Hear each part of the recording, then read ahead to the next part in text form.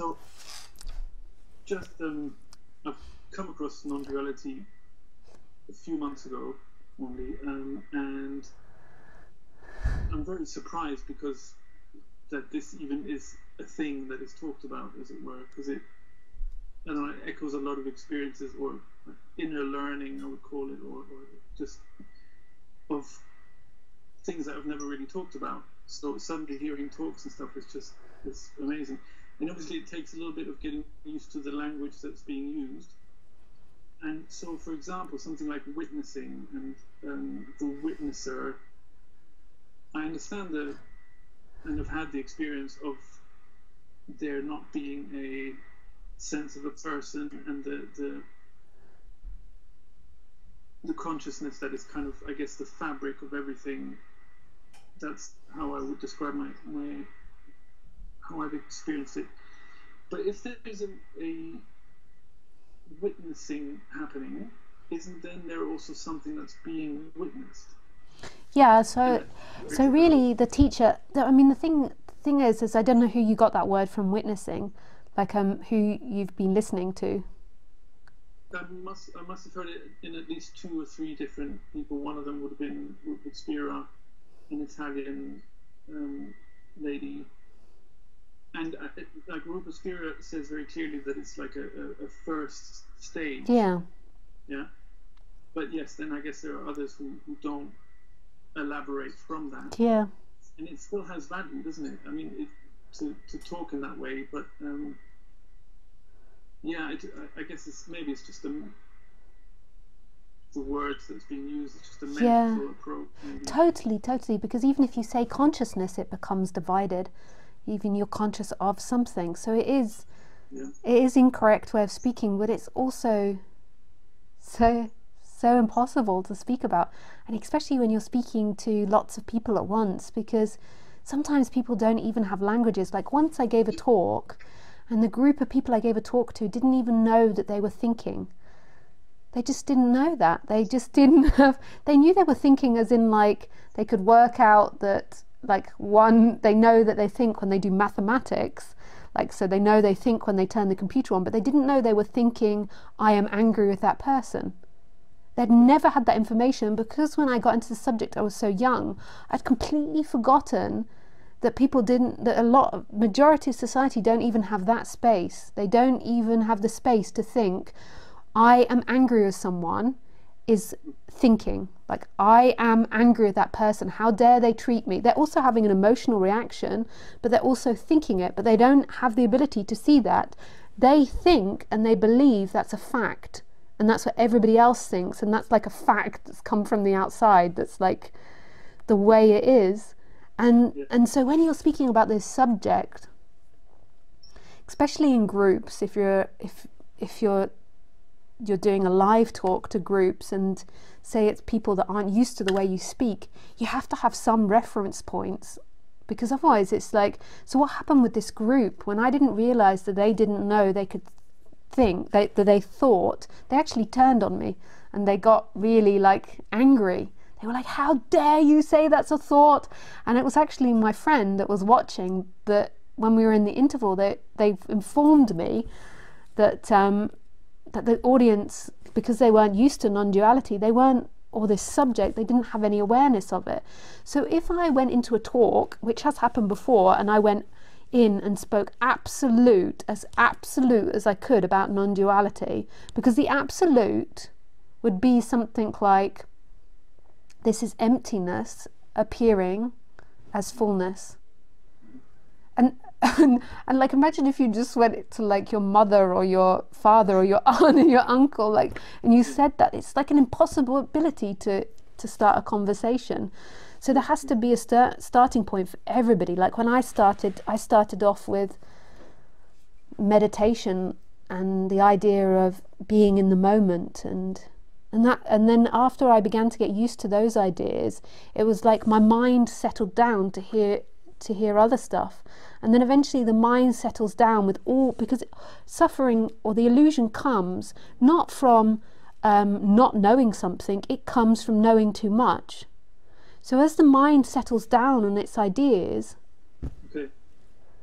Can, can you just say that again? The, the illusion doesn't come Okay. from um, from not knowing something, from not having a piece of information. The suffering comes, the illusion comes from knowing too much. And How, how do you figure that? Like how? Well, when you were born, were you identified? No. and you had no thoughts. You knew exactly who you were. You were perfectly home. You were pure being at its purest.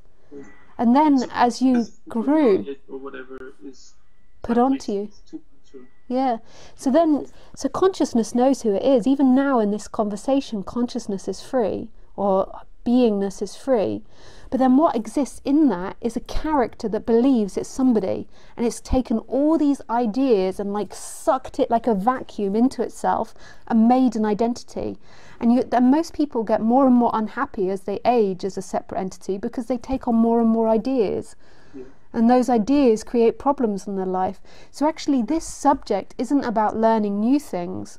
So it's about it's kind of it's this letting go of all the attachment to what you do know. And it's not becoming like um, having Alzheimer's. It's still the shift that happens is a shift beyond that. It's like uh, the end of attachment to all the ideas. It's seeing that the ideas are just ideas like the wind is the wind and the clouds are the clouds and they're not actually who you are and they're not speaking about you there's Yeah. like the end of putting them into who you are Yeah. so so as the mind or that energy that's believing you are those thoughts relax more and more then then this subject can be heard beyond your thoughts so it's like at first when i was super identified just sitting and meditating was really hard listening to you know like a buddhist sutra was really hard because my mind was so occupied with myself and with my life and with my worries and my problems and then as I began to get into this subject more and more, my mind began to relax. But it's never my mind that's going to get it, it's that which is beyond the mind. But as the mind began to relax, then this other possibility could be heard. So the, the consciousness or the witnessing is just, like Rupert says, is a stage.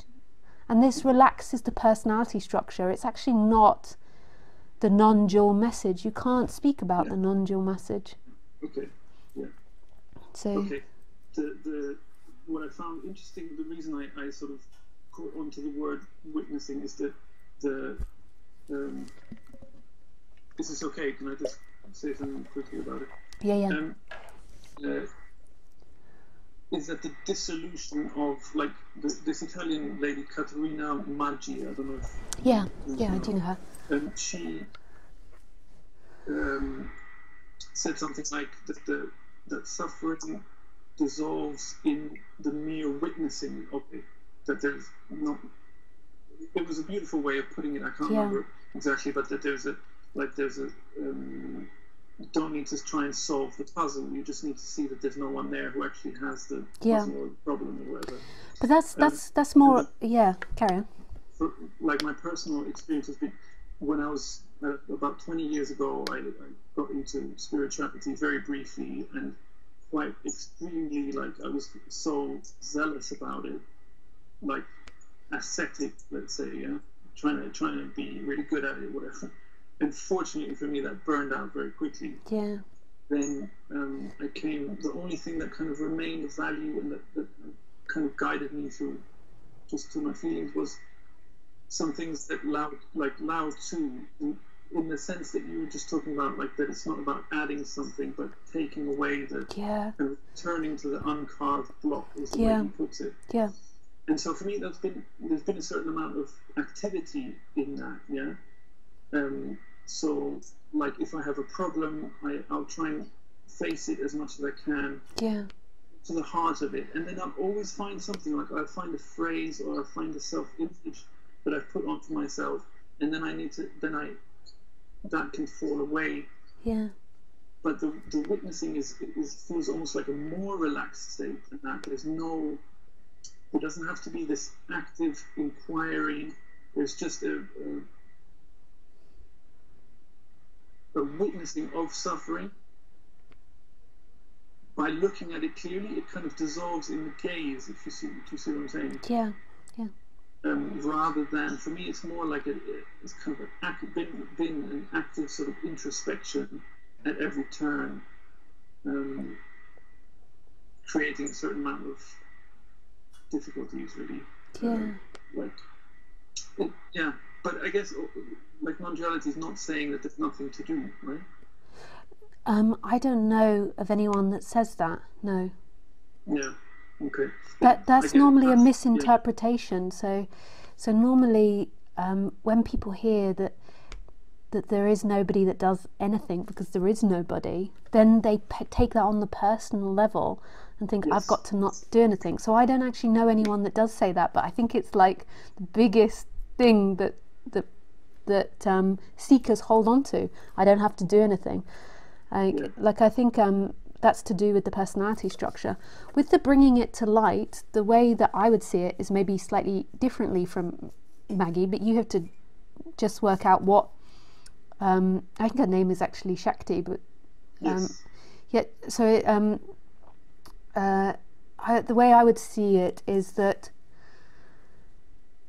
on the personality structure, the personality structure has built up lots of false ideas from this ver- this illusion that you are separate, and it's been passed to you from your parents genetically and through society, and there's there's been this building up of like an idea. One idea you could take is that it's somebody's fault. Ultimately, it's nobody's fault. It's not the faults of the wind that the wind blows or that the sun shines and and, and creates a drought. It's nobody's fault ultimately. Yeah. That's not saying on the human level that the human doesn't have boundaries and that the human doesn't say no and doesn't put responsibility if somebody crashes into your car on someone. But it's it's um it's it's seeing that on the absolute level there's nobody that ever did anything to you and there's nothing that you've ever done to someone else. There's been a movement of energy happening. On the personal level, um, sometimes the person has built up some very contradictory and difficult ideas to listen to. And so there has to be a relaxing of that. And I found on the personal level, the way that relaxes is like what Shakti says, is in you just need to to see it. Like so Yeah. you just need to to bring it into consciousness. Now there's two different two different things that happen in that. So who is it that sees it? So ultimately it's consciousness that sees everything. It's see it, the, the person doesn't see anything, but the person moves the personal attention. So right now, say if you had an unconscious thought about me that was hateful to me, but you weren't conscious of it, and I pointed it out to you and I said I said just look at the way that you're feeling towards me now. So what's your body saying? And then you recognized that you you disliked me because I reminded you of your mother or I reminded you of your father or I reminded you of something that you really dislike, whatever it is. Now, mm-hmm. just from the recognition of that, you're not going to then spend ages trying to get revenge at me, trying to attack me, or, or trying to do all these things that happen when you're unconscious about it. It's seen for what it is, so it's brought up into the light, and it just will begin to dissipate. Nothing more needs to be done. And, and in future, when it comes up, you'll see the feeling. You'll allow the feeling to be there, but you won't think it's actually me, and you won't spend ages trying to, to, to to get something out of me. There'll just be a recognition for what it is. And this is how the human on the personal level begins to change. And the personal, when that human begins to change on the personal level, there's a relaxing of that personality. And then there is, there can be this seeing of that which is beyond the person. When you're totally identified and you're totally involved with hating this person or hating that person, you don't even recognize that you hate it. You're just seeking to get to the end of that in time and you're just lost in thoughts and uncomfortable feelings. So, so this is a difficult thing talking about the moving of the personal attention onto things and bring it into light because ultimately everything is seen, the conscious and the unconscious by consciousness like everything, because everything's experienced by consciousness. But I feel that what has to happen on the personal level is the personal attention. So your attention has to see things that are unconscious and brought up into the light. Yes. But it's not like consciousness can do that because consciousness can't doesn't have personal attention. Consciousness is just witnessing or just Okay. watching everything. That's it. Okay, perfect. Yeah. and most probably that's what Shakti says, but maybe in that video she was speaking about something else and it's like Yeah. it's hard hard when you listen to lots of different speakers and maybe she didn't mean that, maybe she meant something different. But No, this but is that's very helpful. Yeah. yeah, Thanks. Awesome. yeah. Thank you very much. Oh, it's a pleasure. Thank you for your question. Okay. That's enough. Bye.